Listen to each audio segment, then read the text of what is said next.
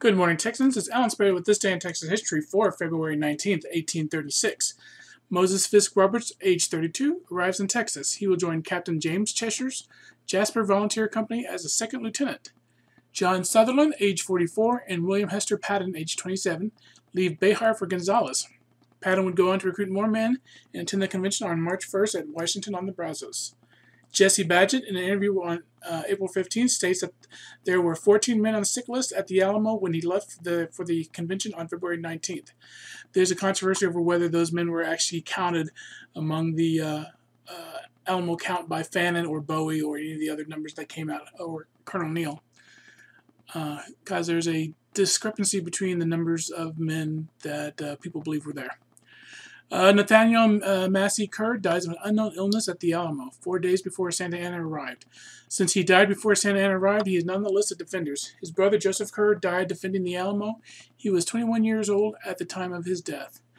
Uh, in order to be an ADDA, Alamo Defenders Descendants Association, your ancestor had to actually die at the Alamo.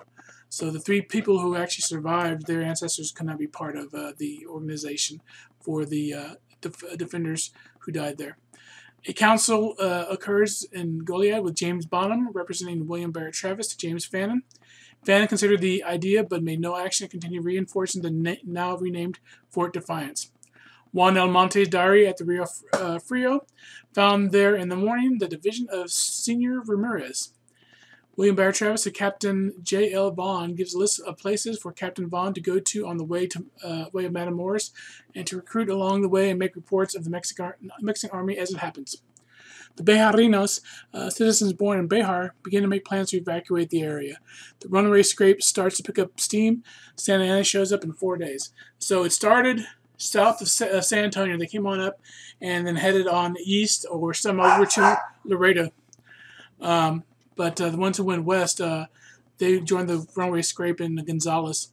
Uh, the Mexican army treated native-born rebels worse than uh, foreign-born rebels, as they would set the army loose on the women and children of rebels.